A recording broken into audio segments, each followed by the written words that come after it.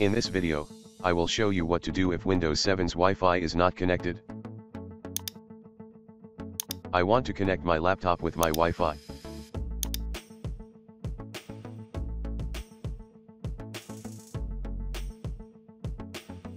But it shows Annabelle to connect.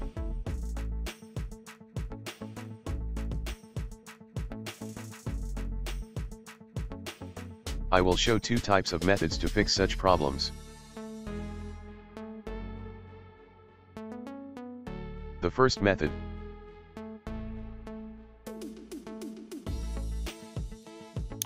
Right-click on the Wi-Fi network and go to Properties. Re-enter your Wi-Fi network password correctly here.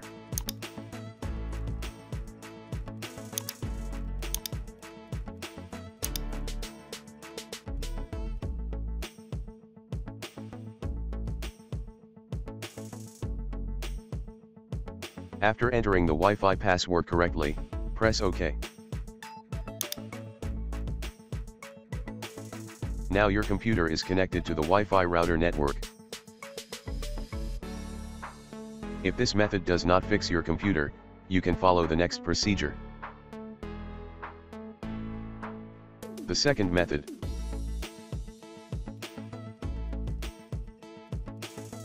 Now go to the properties of the computer. Then go to Device Manager. Then click on Network Adapter. Find your Wi-Fi wireless driver here. You can see your wireless driver from your network settings. Now go to Network and Sharing Center. Then click on Change Adapter.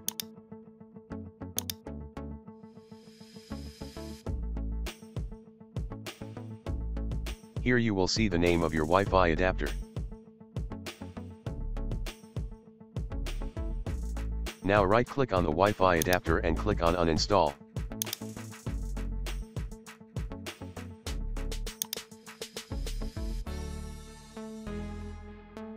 Do not select the delete option in any way. Then press OK. Now the Wi-Fi driver has been uninstalled from your computer. Now click on Scan for hardware change.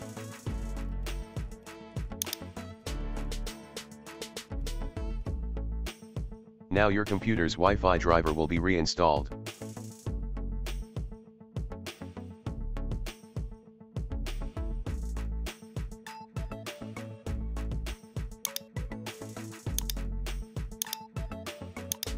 Now connect your laptop to Wi-Fi.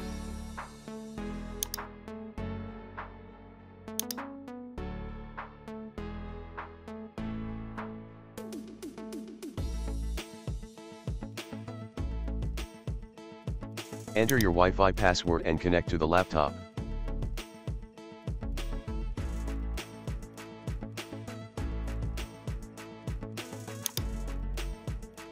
Now your laptop is connected to Wi-Fi.